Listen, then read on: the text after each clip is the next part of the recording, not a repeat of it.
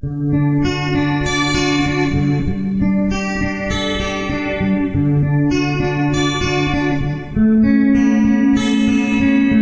are watching a Ubuntu Bootcamp Part 10.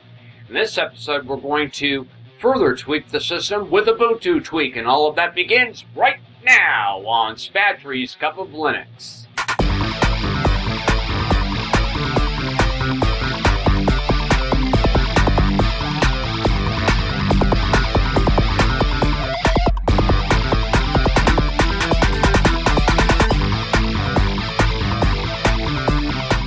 Okay, let's uh, pick up where we left off. And I'm going to go ahead and open up Firefox here. And I'm going to do a little search for Ubuntu Tweak.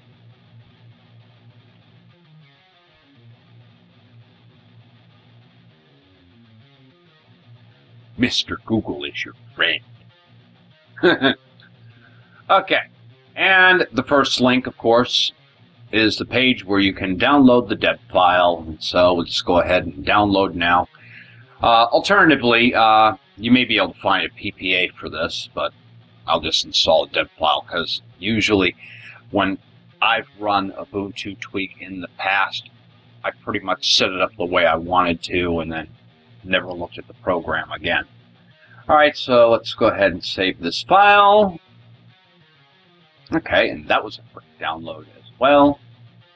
And so let's go ahead and navigate to where it downloaded here. And we'll go ahead and run this. Unlike other Linux distributions that have the lightweight GDebi package installer, Ubuntu wants you to open this in the Ubuntu Software Center. So we're going to go ahead and install this.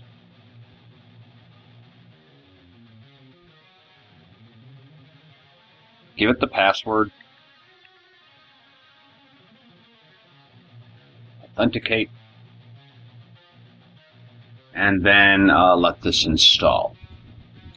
This shouldn't take long.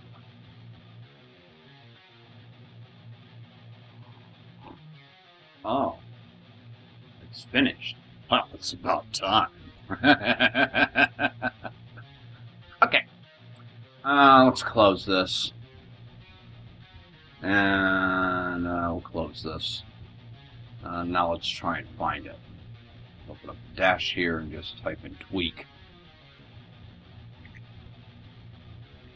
Ah, here it is. Okay, let's see what we get. With power comes responsibility, so be careful with what you do with this application. Um, surprised it didn't give me a warning here. Okay, it looks like it has a janitor in here. Some cache can be cleaned from your system. Now, what that they're talking about is when your system, you know, when you install updates and packages to your system, it's stored in apt cache. And I don't recommend doing this if you're going to make a uh, backup CD, there is an APTonCD program that you can get where you can back up all the uh, packages that you have in cache uh, for reuse later. But if you really need to clean the uh, drive space, I suppose you could use this. Personally, I use uh, BleachBit for cleaning out my system. Okay, so this is the overview. Let's see what kind of things we have in apps here. Interesting. Looks like it has its own little app store where you can choose different applications for installation. Very nice. Let's get to tweaks. Okay, from here we have a lot of things that we can be doing with this. Uh, the first one is miscellaneous. Why is that? Okay. You can choose some options here. You can have menus have icons or not. Buttons have icons or not. Show input method menu in the context menu. Show Unicode control character menu in the context menu. Disable printing. Now, why would you want to do that? but it's here. Okay. Uh, natural scrolling, overlay, scroll bars, cursor blink. Okay. Lovely. okay, well, what sound tweaks do we have? Okay, event sounds, play login sound. Yeah, good. Let's turn that off. I don't want to hear a sound when the computer turns on. Okay, cool. Back up here and see what else we got. Oh, theme. Okay. We can change our themes here. But really, this didn't come with much themes. But great if you uh, download and install more themes. Ah, session indicator. Hmm. Show user's real name on the panel.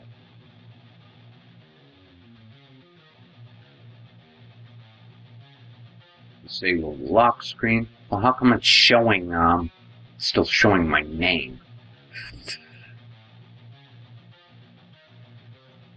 Okay, and that just resets the default value. Okay. Can I shut it off entirely? I probably you probably have to log out and log back in for some of these settings to take effect. I would expect.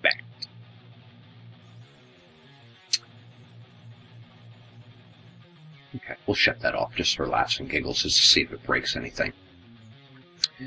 Okay, what else have we got here?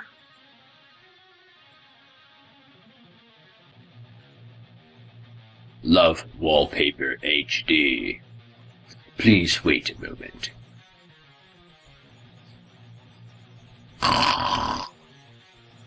Oh, okay. Powered by Love Wallpaper HD. Okay.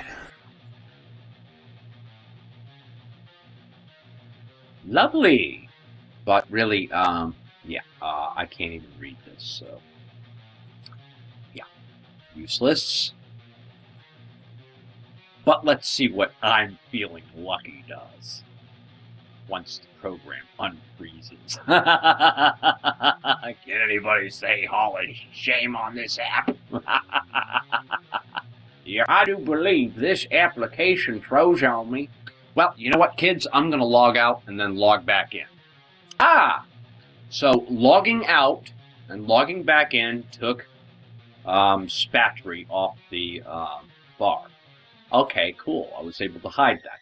I don't use it anyway. Why should I have it there, right? Okay.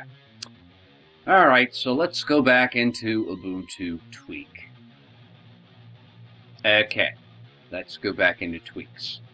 Okay, and let's... Um, I still want to press the I'm feeling lucky in the wallpaper section. Just to see what happens. Although I will admit, um, it does not like this wallpaper thing. I'm feeling lucky.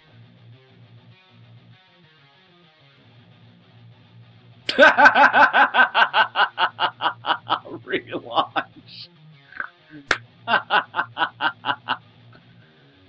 uh, well. Oh, cool. And, um, hmm.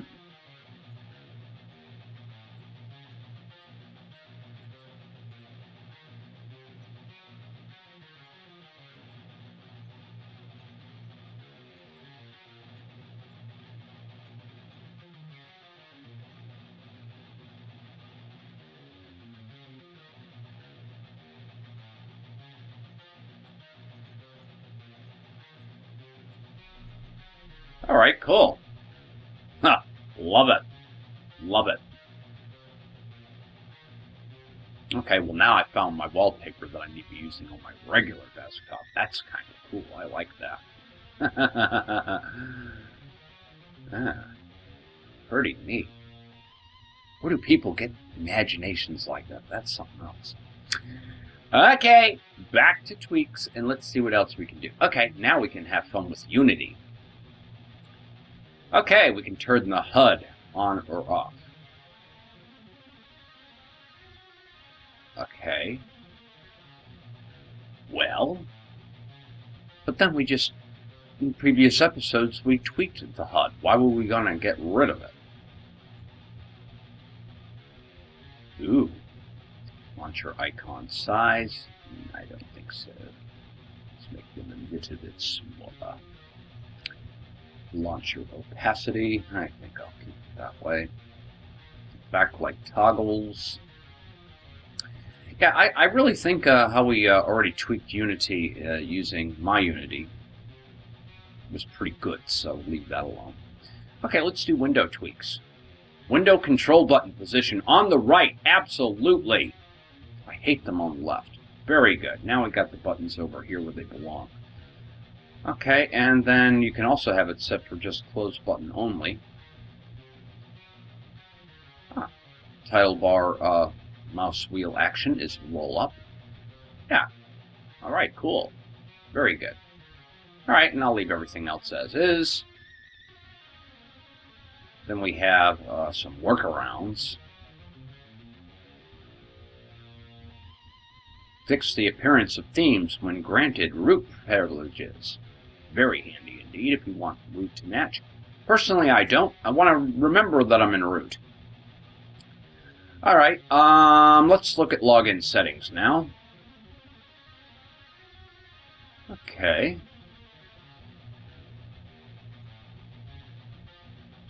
So here you can make some changes to um, your login screen. Leave that alone. I don't spend much time in the login screen anyway. Desktop icons, you can choose to show or not show desktop icons.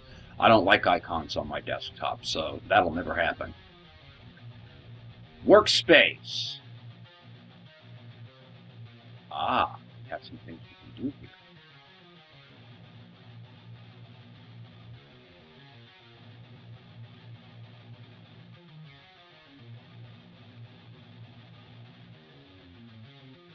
Oh, cool. So this works on the corners of your screen here, and you can determine what these are going to do. Um, okay, let's show windows. Let's open up another window here. Okay, and then... Alright, nice. So that gives us the ability to have hot corners on the screen, so we can determine, you know, um, oh, and then workspaces. Let's do this. Now let's have a look at our workspaces. Pretty neat, huh? Alrighty then. Okay, cool. But it is powered uh, by Compiz, at least until the next version, I think. So, you know, you get some Compiz things going on there. Okay, and then we have File Manager tweaks. Okay, and I don't really think I want to mess with any of these, but these are options you can meddle around with. Okay, let's go into admins. Okay. From here, we've got the source center.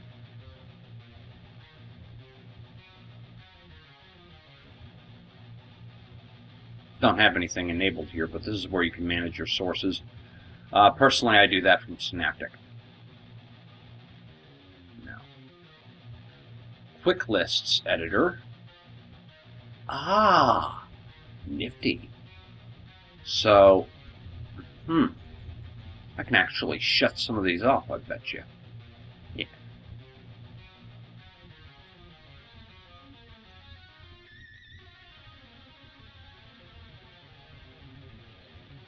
Turn them on, shut them off. Sit here and meddle with these. But if I really don't want it, I can actually just uh, unlock that from the launcher and get rid of it.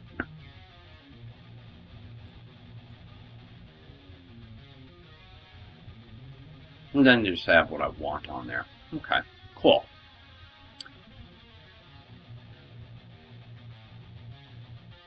Shortcuts. Okay, we can define, um, yeah, shortcuts. There, aren't you glad I'm here to explain this stuff to you? No, but this will allow you to uh, define um, certain key combinations to do whatever. Let's see how easy this is. Okay, we'd have to type in um, the command we would want to run. So, why don't we uh, put this to the test and see if it works. So, I'll have it run Nautilus. Okay, the command is Nautilus, and why don't we move this, see if we can move this. Okay, Nautilus. And then the key, press a new key combination. Let's go Control-Alt-N. Okay, and now um, we have that key combination. So now, um, when I press Control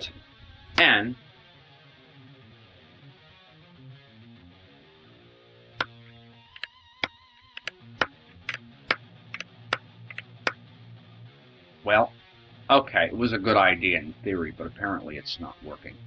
Um, press a new key combination. Let's go Control Alt N.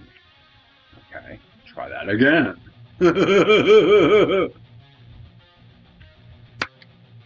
Probably have to log out and log back in, so we'll try that in a little bit and see if it works. Templates. Meh, don't need any templates. User folder. Okay, lovely. Don't really need to mess with that. The source editor. Ah! So this is where we change our sources list and all of that. Okay. Okay. This is where you control your MIME types. So basically, you can change maybe FLAC audio, maybe you want that to open with Movie Player instead.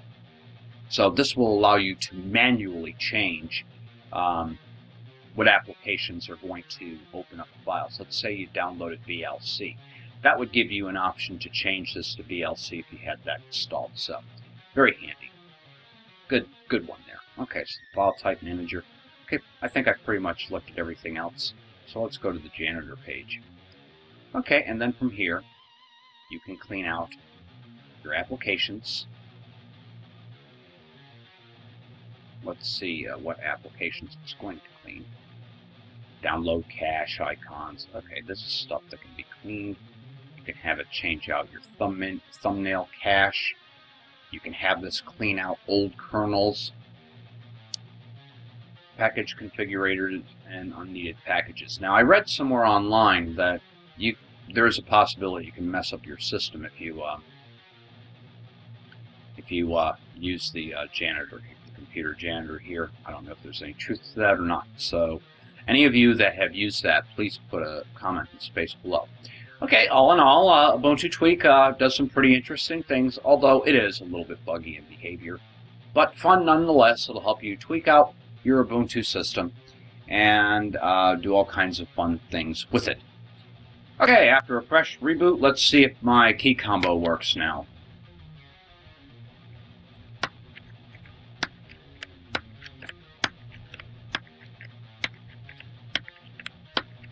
No, unfortunately, um, I think there was a little bug in that uh, I wasn't able to set a key command. Um, so maybe that's something the developers can look into. Maybe I'm just doing something wrong. It wasn't explained anywhere on the screen anyhow. So, um, yeah. It is what it is. I mean, we were able to do a number of tweaks with the system, but yeah, Ubuntu tweak is a little bit buggy. Well, that's all I have for now on this. If you have any ideas on what should be done in the next Ubuntu Bootcamp, put it in the space below, and I'll have a look at it. Ha ha ha! It crashed!